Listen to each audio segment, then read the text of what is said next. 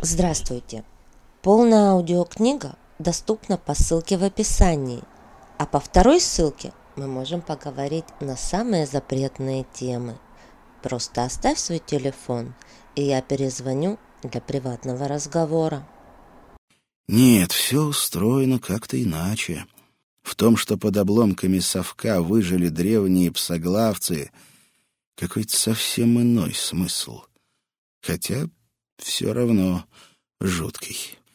Наблюдательная вышка оказалась квадратной деревянной башней высотой с четырехэтажный дом.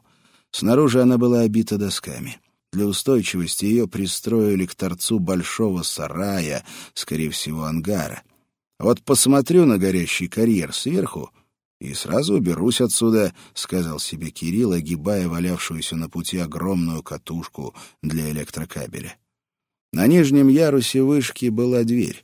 Кирилл вошел и оказался в узком и высоком помещении с земляным полом, дощатыми стенами и потолком. Доски были наколочены тяп-ляп, и потому сквозь щели все было освещено так, что никаких окошек и не требовалось.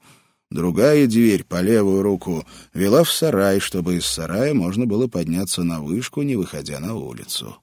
Эта дверь была прикрыта, и Кирилл не стал проверять, забита она гвоздями или нет. Потолок находился на уровне пола третьего этажа, на уровне чердака в сарае. Видимо, он разделял башню по высоте пополам.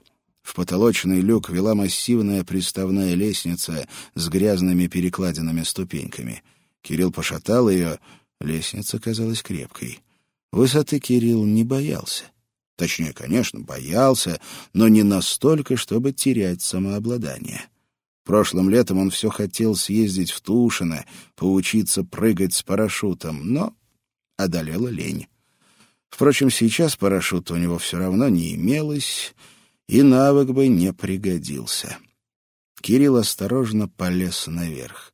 Лестница играла под руками и ногами и ощутимо прогибалась — Кирилл понял, что главная опасность при таком подъеме заключается не в том, что лестница сломается или упадет, а в том, что она, стоя, перевернется вниз грузом, то есть вниз им, Кириллом, и он попросту сорвется с лестницы, как с лошади. Он благополучно добрался до потолка, пролез в люк и оказался на втором ярусе вышки. Здесь все было почти так же, как и внизу, только пол не земляной. Пусто и светло, дощатые щелястые стенки без окон. Слева снова закрытая дверь, теперь уже на чердак сарая. Потолок, верхний помост вышки, и в люке белело небо. Кирилл принялся вытаскивать тяжелую лестницу из люка в полу, чтобы подставить ее к люку в потолке. Лестница цеплялась за края проема торчащими концами ступенек. Кирилл намучился, пока выволок всю эту бандуру. Он просунул верхний конец лестницы в верхний люк и упер нижний конец в брус, специально для этого приколоченный к полу. Теперь можно было подниматься дальше. Внутри башни было затхло, пахло пылью и старой древесиной — Едва Кирилл высунул голову из верхнего люка, его обдало ветерком и горечью торфяной гари. И все равно дышалось тут легче. Кирилл встал на помосте в полный рост и огляделся. Он думал, что с вышки увидит все пространство карьеров, но забыл про мглу. Сверху карьеры и вправду просматривались довольно далеко, однако торфяные разрезы оказались куда обширнее, чем поле зрения — Кирилл подошел к доскам ограды. Горящий котлован находился где-то в полукилометре от вышки. В белесом тумане чернел ровный край плоской выработки. Открытого огня там не было. Вся выработка тихо курилась рваными серыми дымами, словно остывающая лава. Кирилл представил, какой там жар, как в печке микроволновки.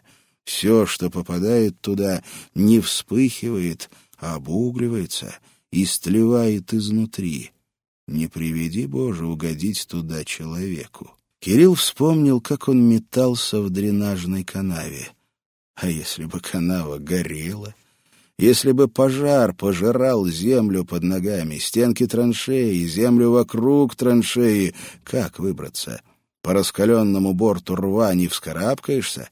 Прыгнуть на край обрыва, как прыгнул он, все равно, что упасть на сковородку? В горящем котловане гибель. Куда более мучительная, чем на костре Инквизиции — Здесь не умрешь от болевого шока через несколько секунд.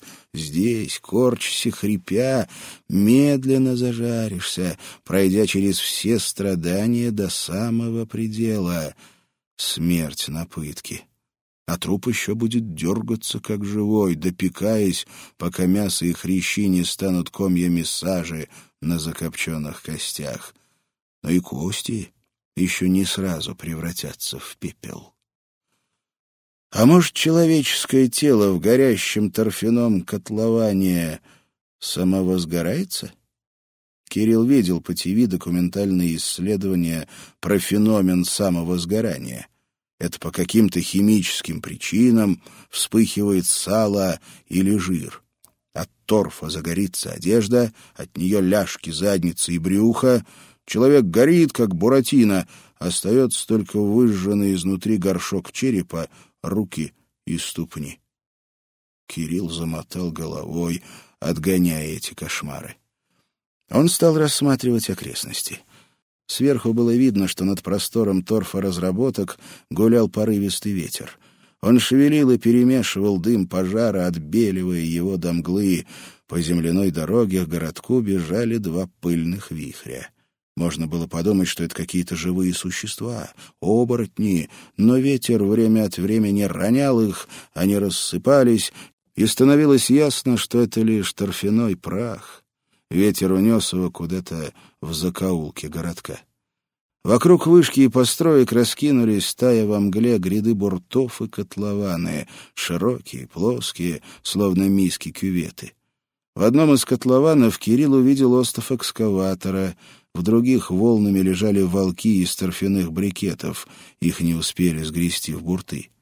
Пройдет двадцать лет, и бурты станут низкими холмами, рвы ложбинками, котлованы впадинами, натечет вода, образуется болото, вырастут деревца, и еще через полвека ничего не будет напоминать о карьерах. На горячем ржавом железе экскаваторного ковша будут прыгать лягушки, а случайный турист удивится, каким образом и за каким чертом предки затащили в болото эту тяжеленную фиговину. Неподалеку от вышки Кирилл заметил узкоколейку. Значит, сюда можно подъехать на дрезине, а он, дурак, шел пешком. Да и ладно. Внизу темнели дырявые крыши сараев — Весь городок был как на ладони. Здесь не псоглавцев надо ловить, а играть в пейнтбол. Кирилл привык к тишине, которую нарушал только он сам, но вдруг откуда-то снизу донесся отчетливый, недвусмысленный скрежет закосневших дверных петель. Нет, под ветром дверь зазвучала бы не так. Она бы скрипнула виновато, неуверенно, приглушенно. А сейчас кто-то спокойный, по-хозяйски открыл ее на весь размах. Кирилл тотчас вспомнил, что ветер прогнал по дороге и замел в городок два пылевых вихря. Нет, сколько не отмахивайся от мороков собственного воображения, не помогает, слишком тут все зловеще. Страх рождается сам, как испарение на болоте. Кирилл опустился на колени перед люком в помосте и глянул вниз. Через проем верхнего люка можно было видеть только второй ярус вышки. Что происходит на первом, неизвестно. Нижний люк насквозь не просматривался. Однако Кирилл слышал шаги, потом еще раз скрипнула дверь, потом раздался совсем непонятный звук, вроде рычания — может, это все-таки Лиза ищет его на вышке? Но Лиза не рычит, как зверь. И Лиза наверняка знает, что рядом есть узкоколейка и не придет сюда пешком. Кирилл оглянулся. Дрезины на узкоколейке не было. И еще Лиза не стала бы ходить просто так и скрипеть дверью. Она не может кричать, а потому привлекла бы внимание Кирилла каким-нибудь шумом, погремела бы досками, железяками, а те, кто ходил внизу, не шумели, хоть и не таились. Кто мог в это время оказаться здесь, возле вышки? Деревенским у вышки делать нечего, бурты с брикетами есть и поближе. Да и жители Калитина не потащатся на карьеры пешком, когда есть дрезина Мурыгина. Значит, это кто-то другой. Кто? Кто? Псоглавцы? Он, Кирилл, вторгся на чужую территорию, в чужую жизнь. Он полчаса торчал на вышке на виду всех карьеров. Мало ли что он мог заметить, он угроза, а угрозу надо устранить. Кирилл понял, что те, кто внизу, решают, как им забраться на второй ярус вышки без лестницы. Наверное, они, которые сейчас внизу, не знают, что с чердака сарая тоже имеется проход на второй ярус. А оттуда путь наверх Кириллу открыт? Что делать? Кирилл уже не пытался убедить себя, что внизу не псоглавцы, а просто случайные люди или даже все-таки Лиза. Что ему делать? Можно вытащить лестницу наверх. Тогда к нему точно никто не заберется, но и он будет отрезан от путей бегства. Псоглавцы просто дождутся его капитуляции через день, через два, или подожгут вышку, если они люди, а не животные. Кто обратит внимание на новый пожар в карьерах? Можно спуститься по наружной стороне вышки, цепляясь за щели между досками. Вариант? Нет, не вариант. Его увидят сквозь щели. На нижнем ярусе опять заскрипела дверь. Что там происходит? Псоглавцы пошли в сарай, чтобы забраться на чердак и там поискать проход на второй ярус? Кирилл мгновенно понял, как ему надо поступить. Пока псоглавцы в сарае карабкаются на чердак, он должен спуститься на первый ярус и убежать. Кирилл без колебаний полез в люк. Он соскочил на несколько ступенек и из-под потолка оглянулся вниз. Второй ярус пока был пуст. Дверь на чердак, как и прежде, закрыта. Кирилл сыпался на пол и кинулся к другому люку, упал на четвереньки и сунул голову в проем, чтобы осмотреться. Первый ярус тоже был пуст. Переставить лестницу не хватало времени. Псоглавцы, наверное, уже идут по чердаку к дверке на второй ярус. Надо прыгать. Конечно, высоко, но если он повиснет на руках, сгруппируется, Кирилл спустил ноги в проем и лег животом на край люка. Только бы не сорваться. Хорошо, что не видно, какая высота. Кирилл осторожно сползал в люк, цепляясь пальцами за доски. У него было ощущение, что собственная тяжесть тянет его вниз за ноги. Он совсем уже висел, касаясь подбородком края люка, словно провалился в полынью и хватался за лед. Прямо перед глазами была дверь на чердак. Дверь дрогнула и начала открываться, заскрипев так оглушительно и страшно, будто некая сила с треском отдирала вышку от сарая. Кирилл расслабил пальцы и ухнул в пустоту. В полете он рефлекторно подобрался, покошачьи выставил руки и ноги, а потом его могуче ударило земляным полом по носкам и ладоням, затем по коленям и локтям, потом в лоб. ему показалось, что его голова по плечи воткнулась в землю, и мгновенно кончились и воздух, и свет. Мир возвращался медленно, словно вытаивал из темноты. Кирилл почувствовал под щекой шершавую землю, потом что-то загудело, потом Кирилл осознал свое тело и себя самого. Он лежал на полу нижнего яруса вышки, что стояла посреди заброшенных торфяных карьеров. Лежал там, куда упал. Кирилл медленно открыл глаза. Рядом с его лицом на земле стояли пыльные зеленые резиновые сапоги. Сапоги Лизы. Над ним стоит Лиза? Но почему она не присядет на корточки, не потормошит его, не проверит, жив ли он? Почему она просто стоит и ждет? Не двигая головой, Кирилл скосил глаза наверх, взгляд скользнул по голенищам сапог, по брюкам Лизы, по рубашке в синюю полоску, а вдруг там дальше голова собаки. Вдруг Лиза оборотень, соглавец. Вдруг он увидит одежду и тело Лизы, но башку зверя. И едва он увидит все это, зверь бросится на него. Уже ничего не изменить. Если Лиза чудовище, ему уже не спастись. Не глядя на Лизу, Кирилл зашевелился. Он подтянул руки, подтянул ноги и тяжело взгромоздился на четвереньки. Передохнул.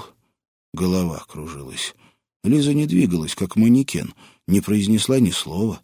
Кирилл медленно выпрямился во весь рост, его шатало, и только когда удержал равновесие, он поднял взгляд.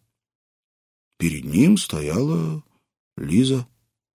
Обычная Лиза, девушка, человек. Стояла и молча смотрела на него. — Это ты? — хрипло спросил Кирилл. Лиза кивнула. — Кирилл бы упал, но Лиза подхватила его и потащила к выходу. Вокруг вышки все было по-прежнему. Угол сарая, торфяной бурт, вагончик-бытовка, развалившаяся груда бревен, огромная дощатая катушка из-под кабеля, белое небо. Лиза усадила Кирилла на катушку и присела рядом.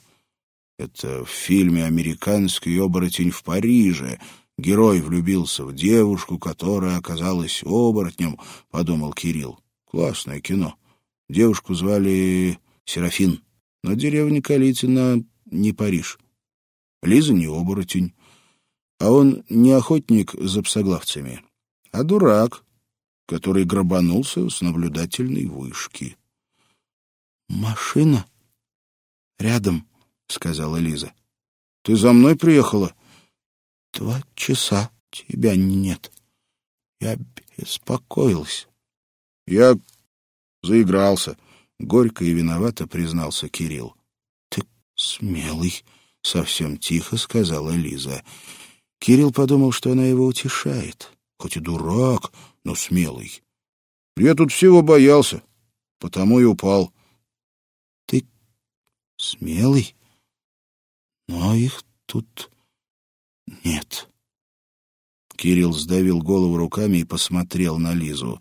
Лиза тихонько покачивала носком сапога. — А где они? — хрипло спросил Кирилл. — Их нет. Лиза сидела на краю катушки, подложив под себя ладони, и смотрела в сторону. Лицо ее было неподвижно и безучастно. — Она не скажет, — понял Кирилл. Раньше молчала, потому что я был ей чужой, а сейчас не скажет, потому что я стал ей не чужим. Но псоглавцы существуют. Он ведь не торчок, которому видятся глюки.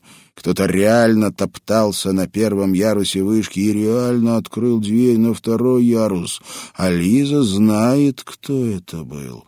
И между нею и псоглавцами есть какие-то отношения, потому что иначе псоглавцы растерзали бы его, когда он валялся на земле без сознания. Все-таки Лиза похожа на девушку Серафин из американского оборотня. «Я их все равно найду», — убежденно пообещал Кирилл. Лиза отрицательно покачала головой. «Не найдешь. Это...» Кирилл ждал. Лизе было очень тяжело говорить. «Это от староверов. А ты...» Лиза не смогла закончить фразу. Но Кирилла уже нахлобучило озарение. «От староверов, Конечно, откуда же еще псоглавец образ раскольников? И здесь были скиты, псоглавцы не из зоны, не из совка, а из скитов. Раскольники казались Кириллу чем-то безмерно далеким, дремучим, ушедшим, уехавшим из жизни навсегда, как на картине Сурикова уезжала в санях боярыня Морозова. А тут... Лиза... Кирилл лихорадочно вспоминал, как она крестилась на кладбище. Лиза крестилась двумя пальцами.